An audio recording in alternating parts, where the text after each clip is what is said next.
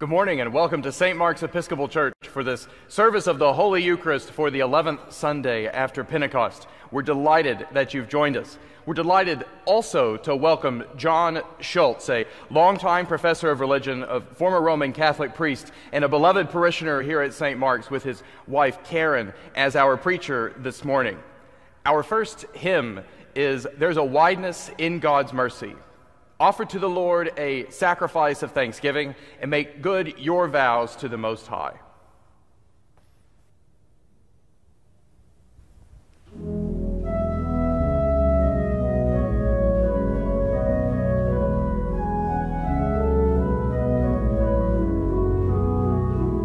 There's a wideness in God's mercy, like the wideness of the sea. There's a kindness in His justice, which is more than liberty. There is welcome for the sinner, and more graces for the good. There is mercy with the Savior. There is healing in His blood.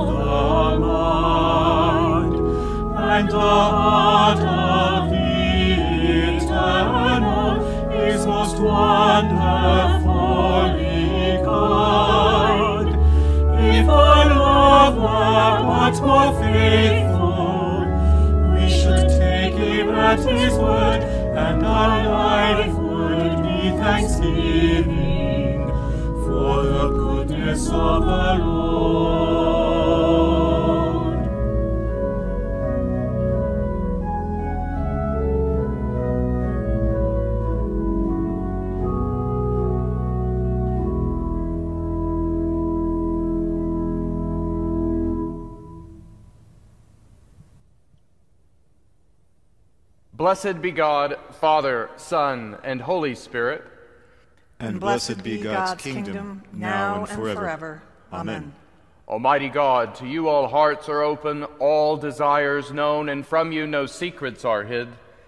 Cleanse the thoughts of our hearts by the inspiration of your Holy Spirit, that we may perfectly love you and worthily magnify your holy name through Christ our Lord. Amen. Amen.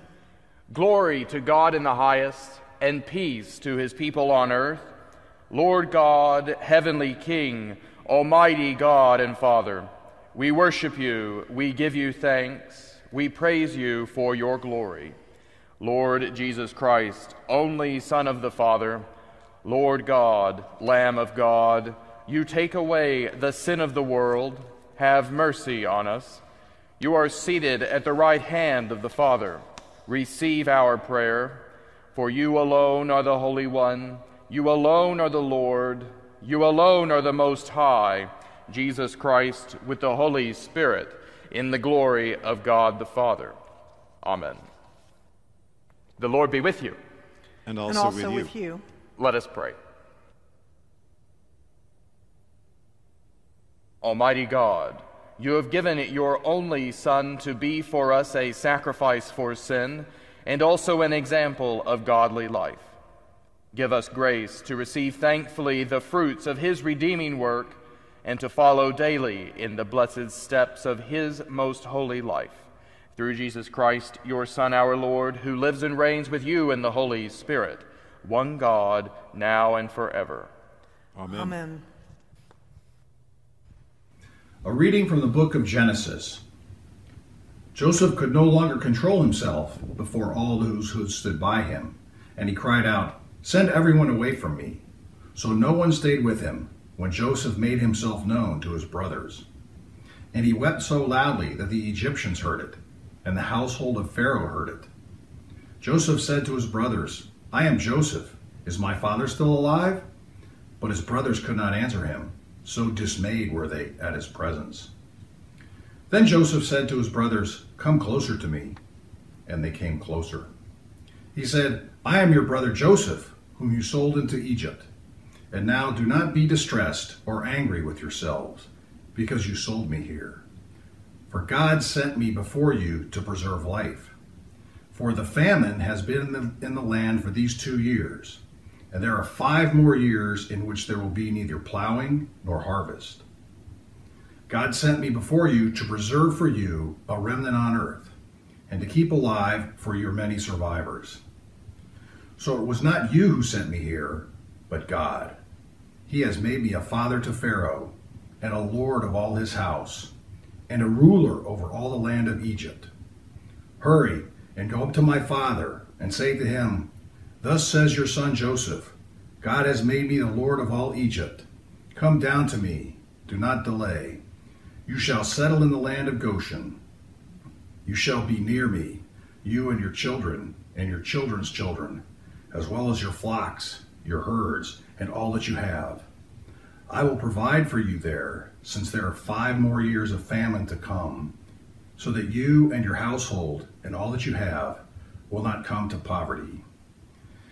And now your eyes and the eyes of my brother Benjamin see that it is my own mouth that speaks to you. You must tell my father how greatly I am honored in Egypt and all that you have seen. Hurry and bring back my father down here. Then he fell upon his brother Benjamin's neck and wept, and Benjamin wept upon his neck. And he kissed all his brothers and wept upon them. And after that, his brothers talked with him. The word of the Lord. Thanks be to God.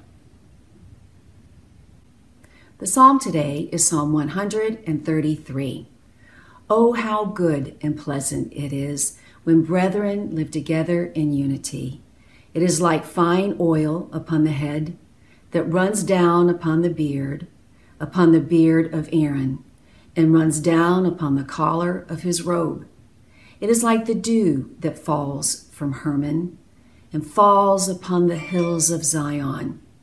For there the Lord has ordained the message, life forevermore. Romans chapter 11. I ask then, has God rejected his people? By no means. I myself am an Israelite, a descendant of Abraham, a member of the tribe of Benjamin. God has not rejected his people whom he foreknew. For the gifts and the calling of God are irrevocable. Just as you were once disobedient to God, but have now received mercy because of their disobedience, so they have now been disobedient, in order that, by the mercy shown to you, they too may now receive mercy. For God has imprisoned all in disobedience, so that he may be merciful to all. Thanks be to God. The Lord be with you. And, and also, also, with, with you. you. The Holy Gospel of our Lord Jesus Christ, according to Matthew. Glory, Glory to you, Lord, Lord Christ. Christ. Jesus called the crowd to him and said to them, Listen and understand. It is not what goes into the mouth that defiles a person, but it is what comes out of the mouth that defiles. Then the disciples approached him and said to him, Do you know that the Pharisees took offense when they heard what you said? He answered, Every plant that my heavenly Father has not planted will be uprooted. Let them alone. They are blind guides of the blind. And if one blind person guides another, both will fall into a pit. But Peter said to him, Explain this parable to us. Then he said, Are you also still without understanding? Do you not see that whatever goes into the mouth enters the stomach and goes out into the sewer? What, what, what comes out of the mouth proceeds from the heart, and this is what defiles. For out of the, out of the heart comes evil intentions, murder, adultery, fornication, theft, false witness, and slander. These are what defile a person, but to eat with unwashed hands does not defile. Jesus left that place and went away to the district of Tyre and Sidon. Just then, a Canaanite woman from that region came out and started shouting, Have mercy on me, Lord, son of David. My daughter is tormented by a demon. But he did not answer her at all. And his disciples came and urged him, saying, Send her away, for she keeps shouting after us. He answered, I was sent only to the lost sheep of the house of Israel. But she came and knelt before him, saying, Lord, help me. He answered, It is not fair to take the children's food and throw it to the dogs. She said, Yes, Lord, yet even the dogs eat the crumbs that fall from the master's table. Then Jesus answered her, Woman, great is your faith. Let it be done for you as you wish. And her daughter was healed immediately. The Gospel of the Lord. Praise to you, Lord Christ.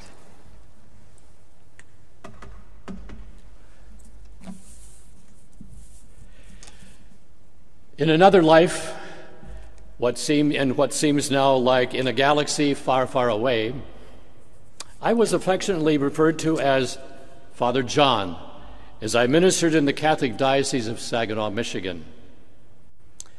I loved that role, my heart was in it.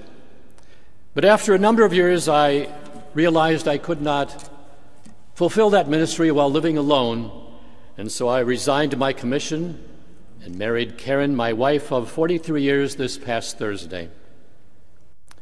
However, despite all that, because my tradition says, John, if you're married, you may not minister publicly, I am still ordained, and thus the stole that I'm wearing symbolic of that fact.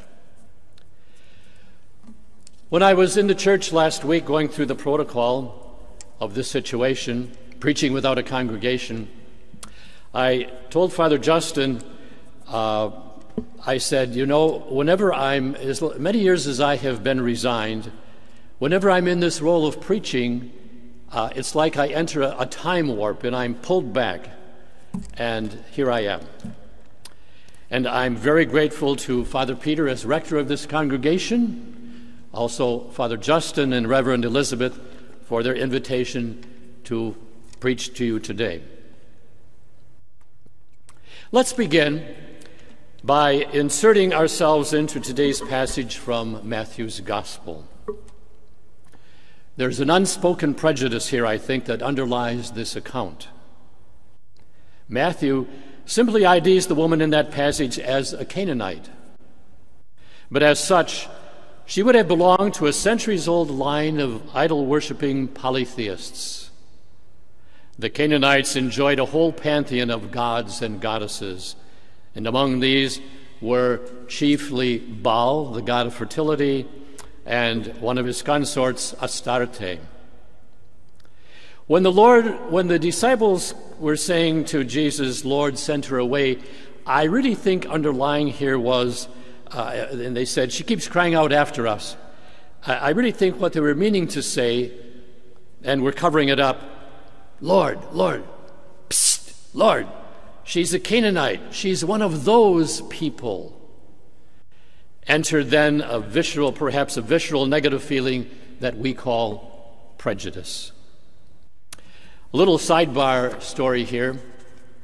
800 years before this account, the prophet Elijah was, uh, pre- was prophesying up in the territory of the Canaanites and the priests of Baal there were giving him a very rough time, to say the least. Finally got tired of this. So he said, I tell you what, I challenge you to a contest. You priests of Baal, you prophets of Baal, You build your own altar here and put on it your whatever animal you want to have as a holocaust, and you pray then to Baal and ask him to send down fire from heaven to consume the, the animal offering. And let's see what happens. I'll build my altar here, and I will put a Holocaust offering on it as well, but we'll wait first. I'll wait and see what happens with you. So they went on and on and on, and hours passed, and they were screaming and carrying on and moaning, and they had slashed themselves, especially in their scalp, and blood was coming out as was their custom, and absolutely, of course, nothing happened. And then Elijah said to uh, his uh, attendants there, Fill seven buckets of water, pour them all over the animal on the altar of Holocaust, cover the altar with water, dig a trench here, fill the trenches with water, and then he prayed to his God, Yahweh, Yahweh in the Hebrew. And suddenly fire came down from heaven, consumed the animal, consumed the altar, lapped up all the, dried up all the water in the trenches. End of story. Back to the Canaanite woman. She cries out and asks Jesus to cast out a demon from her daughter. But he doesn't react neg- negatively at first based on her ethnicity as such. Instead, he simply states that his obligation is, first of all, to the children of Israel, the Jews. But she keeps pressing him.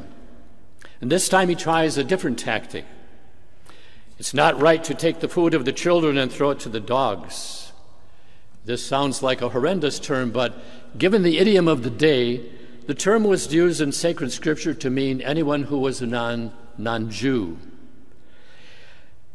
I want to take a look, uh, if we, if we forward to Luke's gospel in chapter 7, he changes it and he mitigates the expression. He doesn't say dogs, he says pups. And he said it's not right to throw scraps to the pups that are under the table um, under the children's table. And uh, noteworthy here is the fact that, that Luke places both children and pups in the same house under the same table. Notable. Another story. When I was a teenager growing up in Bay City, we had uh, uh, I suppose Snoopy was a mongrel dog, certainly a mixed breed, but to look at her, you would say she was a, a shrunken English setter and an excellent hunter.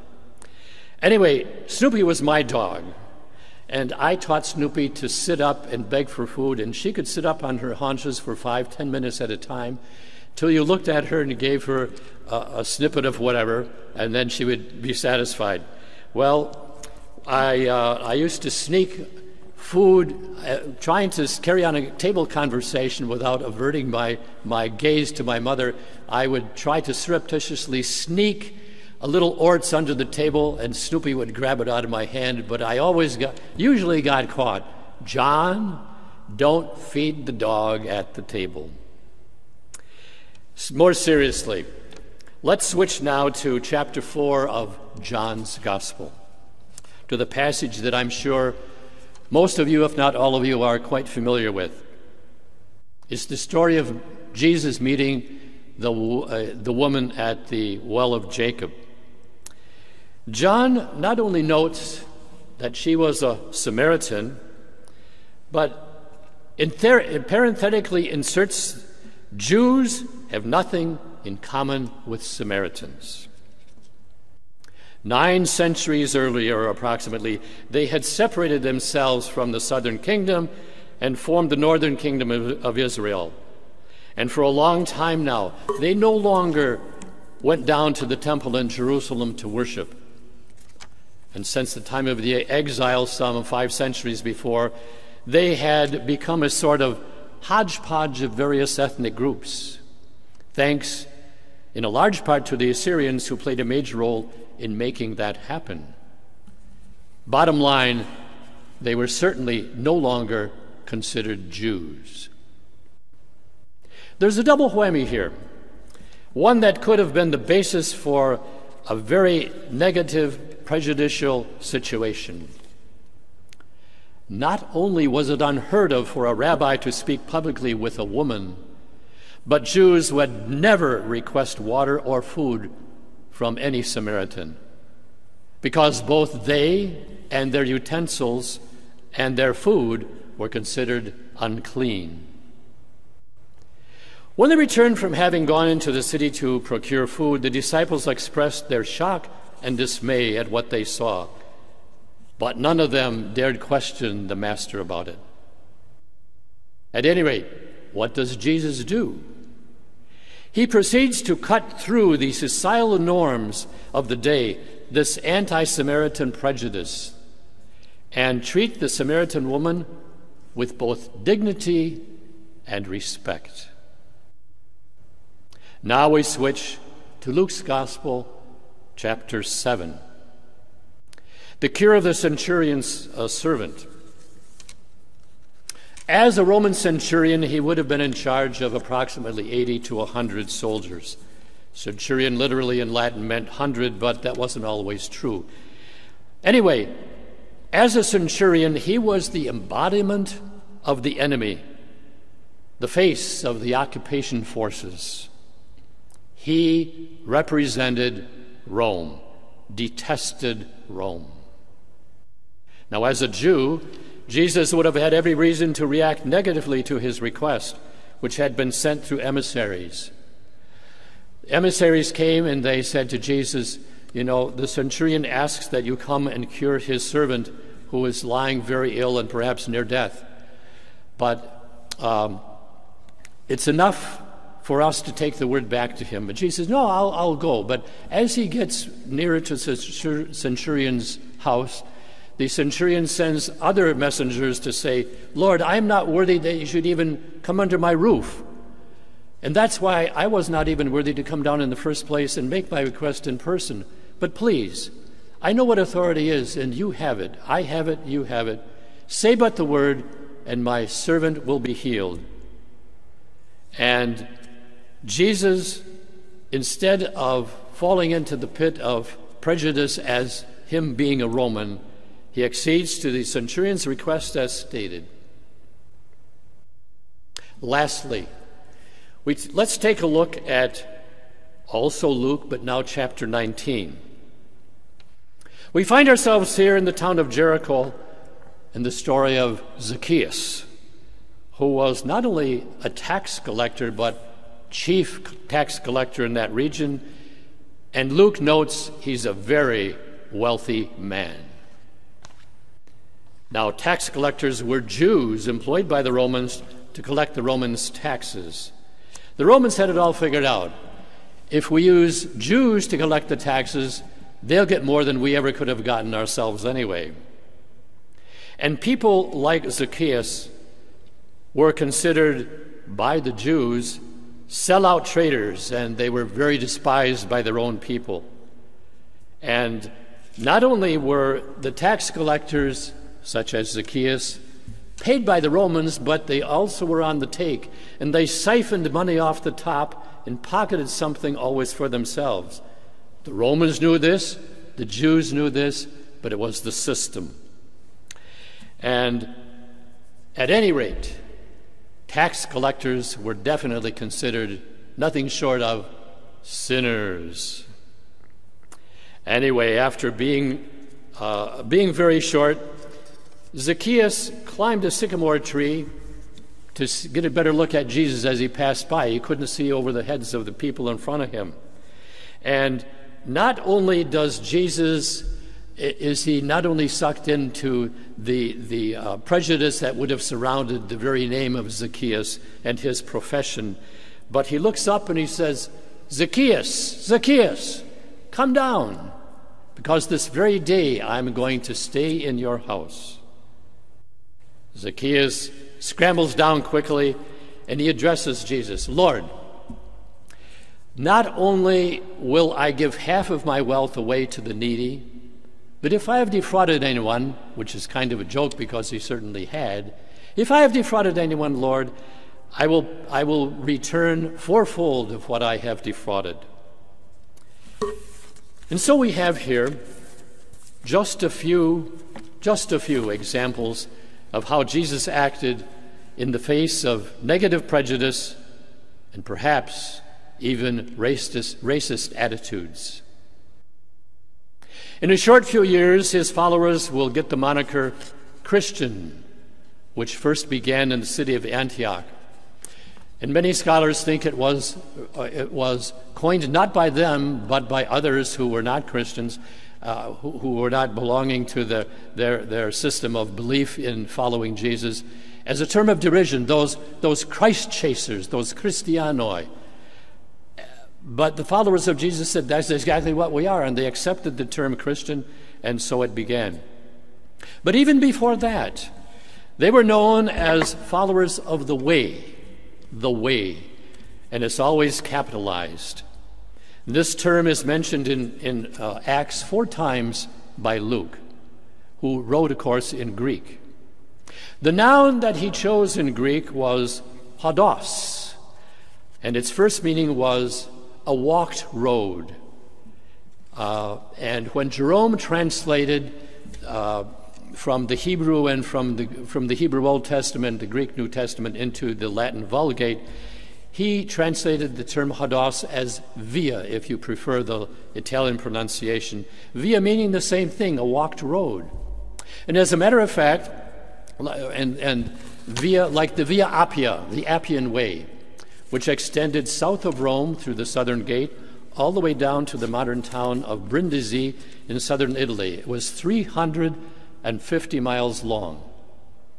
You can still go there today, go through the southern gate, and walk for a few miles, in fact, a number of miles on the old Appian Way, the Via Appia. The secondary meaning of hodos, however, and via was a custom, a manner, a way of doing. And so these early Christians were committed to thinking and acting according to Jesus' manner, according to his way.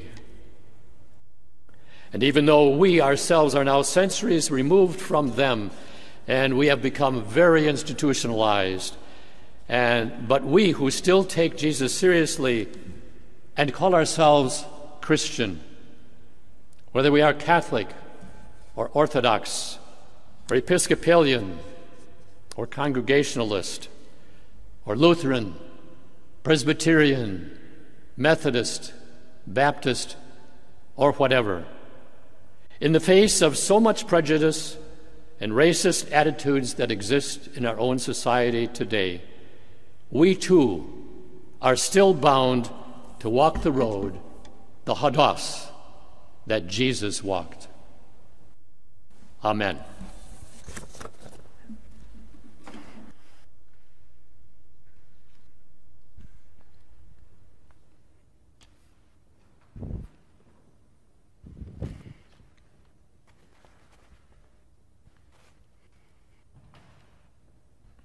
Together, let us join with the church around the world in proclaiming our faith using the words of the Nicene Creed. We believe in one God, the Father, the Almighty, maker of heaven and earth, of all that is, seen and unseen. We believe in one Lord Jesus Christ, the only Son of God, eternally begotten of the Father, God from God, light from light, true God from true God begotten, not made, of one being with the Father. Through him all things were made. For us and for our salvation, he came down from heaven. By the power of the Holy Spirit, he became incarnate from the Virgin Mary and was made man. For our sake, he was crucified under Pontius Pilate. He suffered death and was buried. On the third day, he rose again in accordance with the Scriptures. He ascended into heaven and is seated at the right hand of the Father. He will come again in glory to judge the living and the dead, and his kingdom will have no end. We believe in the Holy Spirit, the Lord, the giver of life, who proceeds from the Father and the Son. With the Father and the Son, he is worshiped and glorified. He has spoken through the prophets. We believe in one holy, Catholic, and Apostolic Church. We acknowledge one baptism for the forgiveness of sins. We look for the resurrection of the dead and the life of the world to come. Amen.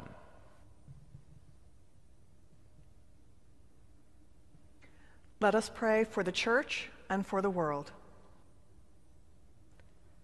Father, we pray for your holy Catholic Church. That, that we, we all may, may be one. one. Grant that every member of the church may truly and humbly serve you. That, that your, your, name, may, be glorified, glorified by, by all people. people. We pray for all bishops, priests, deacons, and lay ministers.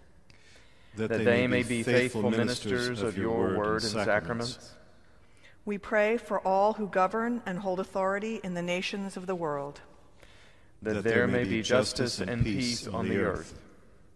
Give us grace to do your will in all that we undertake. That, that our, works, may find favor in your sight. We thank you, Lord, for all the blessings of this life, especially for the birth of Charles J. Torrenzano, son of Beth Noble and Jake Torrenzano, and little brother to Rosie. We will exalt you, O God our King, and, and praise, praise your name forever and ever.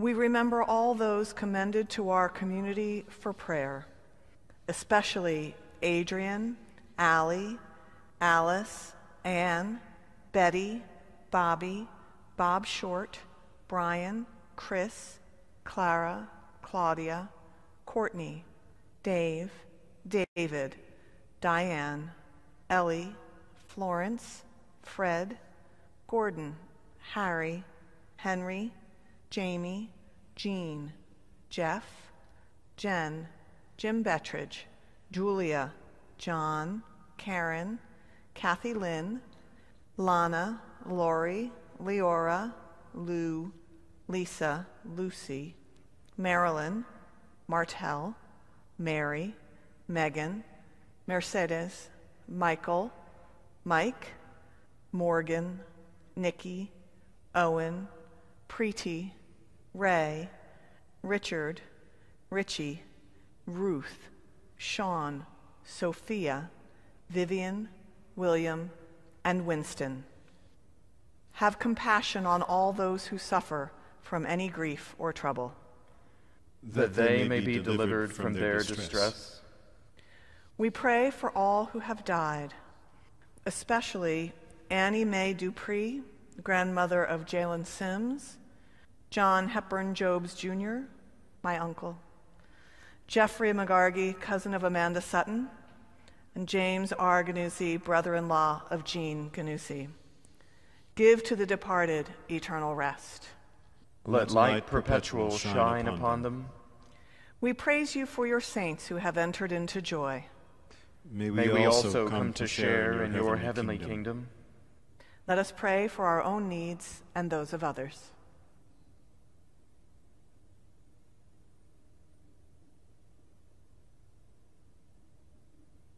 O Lord our God, accept the fervent prayers of your people. In the multitude of your mercies, look with compassion upon us and all who turn to you for help. For you are gracious, O lover of souls, and to you we give glory, Father, Son, and Holy Spirit, now and forever. Amen. Amen. Let us confess our sins against God and our neighbor.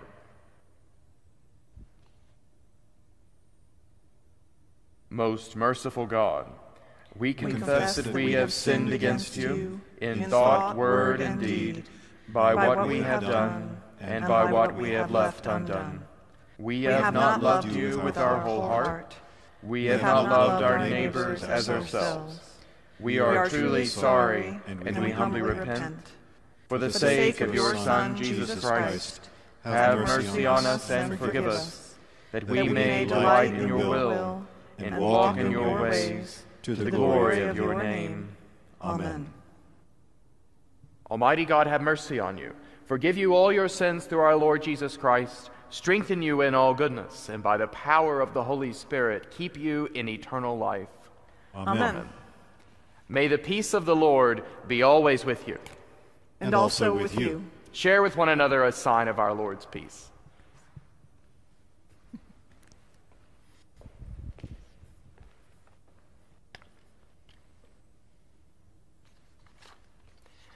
Good morning and welcome again to the service of the Holy Eucharist at St. Mark's Episcopal Church in New Canaan, Connecticut. We are a community of love formed by the grace of God, seeking to follow the practices of a Jesus centered life, a, a life that is on the way, which John Schultz preached about so beautifully this morning. We hope that you will join us by helping us to get to know you. There are many ways to do so. You can join our mailing list or fill out a simple form on the newcomers page of this website. No matter where in the state of Connecticut or the country or the world that you are, we want to be your family in Christ and to get to know you. So please do be in touch with us. We're delighted and grateful to have heard readings this morning, the profession of the Word of God from Stan and Holly March and Caroline Gillespie Greer. Thanks so much to all three of you. And thanks also to our virtual choir and our soloists and our intrepid director of music ministry, Ned Tipton, as always, for our service music and hymns this morning. And to John Schultz, again, for preaching the word so powerfully this morning. We are so, so, so grateful, John, to be your holy home, and we are blessed by your continued ministry in our presence. Thank you so much for this morning. Next week, there's going to be a guest preacher who you also will not want to miss Rob Schwartz. Uh, Rob is our wonderful administrative coordinator. We love Rob, and we know that you do too. Rob is a seminarian in the United Church of Christ and is in active ministry at Woodmont United Church of Christ in Milford. They have been so kind to give Rob the Sunday off so that he can come to us and preach the gospel to a whole bunch of Episcopalians and their friends. We are so looking forward, Rob, to you being with us. We will be honored to have you in our pulpit, just as we were by John this morning.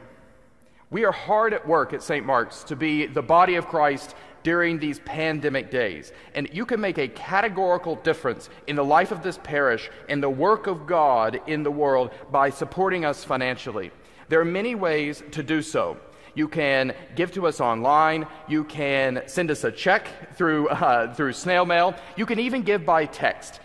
Instructions about how to do so are all found on our website. Thank you deeply from the bottom of our hearts for your support. I note too that the, if you're local to New Canaan, the New Canaan Food Ministry is still in need of replenishing their stores. The food pantry is hosted here at St. Mark's and they're in need of supplies. If you're in New Canaan, you can make a donation of food on Monday mornings at the food pantry at 8:30, or alternatively, you can bring food with you to the 9 o'clock outdoor Eucharist that we've been hosting here on Sundays at St. Mark's. Wherever you are this morning, Grace and peace to you from God our Father and the Lord Jesus Christ. Holy Communion follows, and I pray that you would make your spiritual communion this morning by the power of Jesus' Spirit. Walk in love as Christ loved us and gave himself up for us, an offering and sacrifice to God.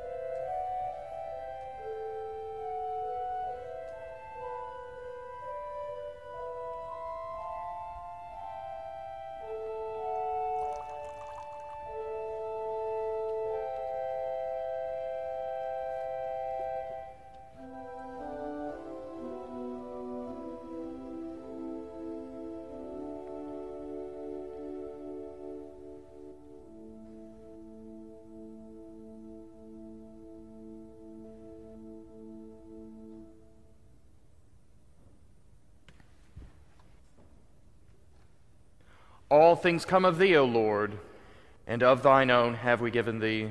Amen. The Lord be with you. And, and also, also with, with you. you. Lift up your hearts. We, We lift them to the Lord. Let us give thanks to the Lord our God. It is right to give God thanks and praise. God of all power, ruler of the universe, you are worthy of glory and praise. Glory, Glory to you, forever and ever. At your command, all things came to be. The vast expanse of interstellar space, galaxies, suns, the planets in their courses, and this fragile earth, our island home. By, your will, they were created and, have their being. From the primal elements, you brought forth the human race and blessed us with memory, reason, and skill. You made us the rulers of creation, but we turned against you and betrayed your trust and turned against one another. Have, mercy, Lord, for, we are sinners in your sight. sight. Again and again you called us to return. Through prophets and sages you revealed your righteous law, and in the fullness of time you sent your only Son, born of a woman, to fulfill your law, to open for us the way of freedom and peace. By his, By his blood, blood he reconciled reconciled us. By, his, wounds, we are healed. And therefore we praise you, joining with the heavenly chorus, with prophets, apostles, and martyrs, and with all those in every generation who have looked to you in hope, to proclaim with them your glory in their unending hymn.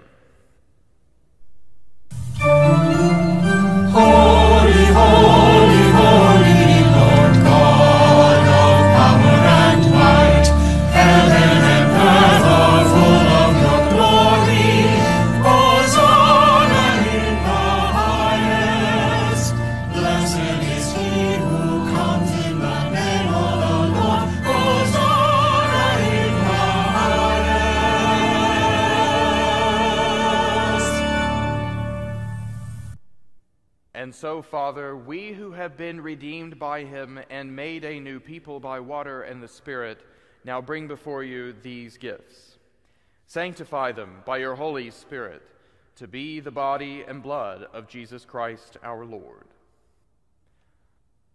On the night he was betrayed, he took bread, said the blessing, broke the bread, and gave it to his friends and said, Take, eat. This is my body, which is given for you. Do this for the remembrance of me.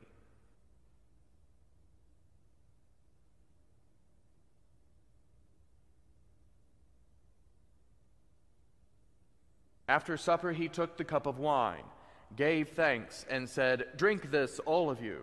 This is my blood of the new covenant, which is shed for you and for many for the forgiveness of sins. Whenever you drink it, do this for the remembrance of me.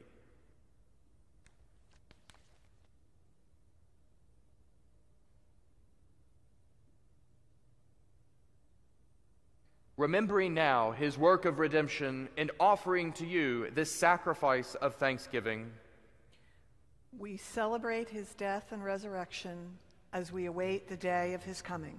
Lord God of our fathers, God of Abraham and Sarah, Isaac and Rebekah, Jacob and Rachel and Leah, God and Father of our Lord Jesus Christ, open our eyes to see your hand at work in the world about us. Deliver us from the presumption of coming to this table for solace only and not for strength, for pardon only and not for renewal.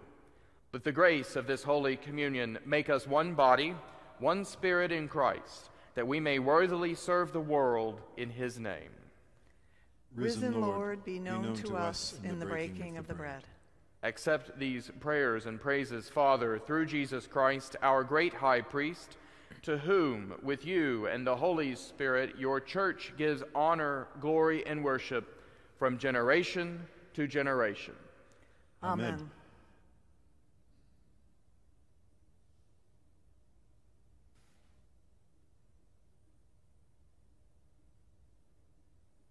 And now, as our Savior Christ hath taught us, we are bold to say, Our, Our Father, Father, who art in heaven, hallowed be thy name. Thy Thy kingdom kingdom come, come, thy will be done, on earth as it is in heaven.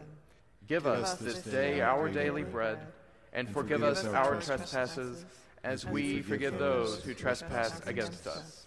And lead us not into temptation, but deliver us from evil. For thine is the kingdom, and the power, and the glory, forever and ever. Amen. Amen.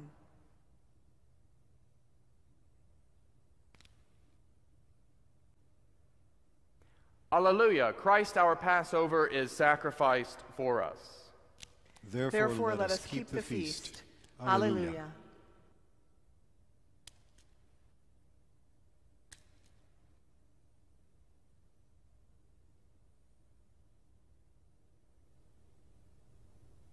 The gifts of God for the people of God. Take them in remembrance that Christ died for you, and feed upon him in your hearts by faith, with thanksgiving.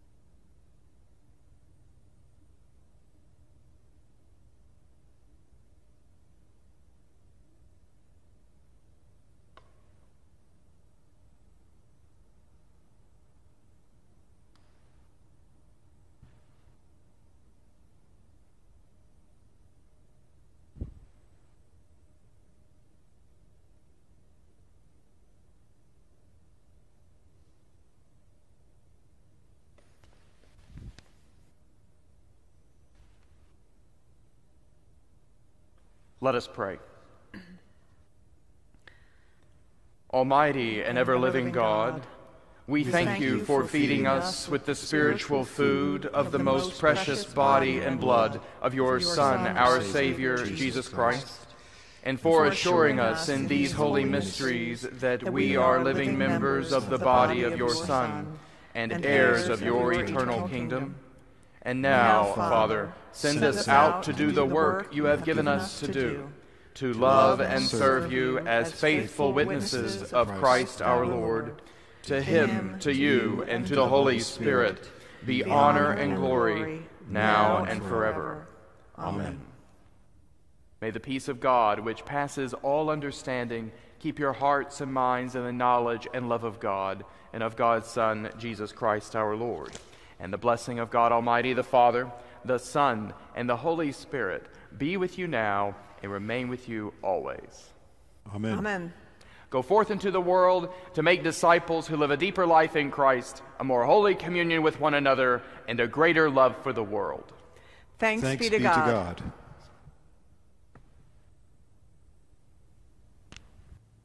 O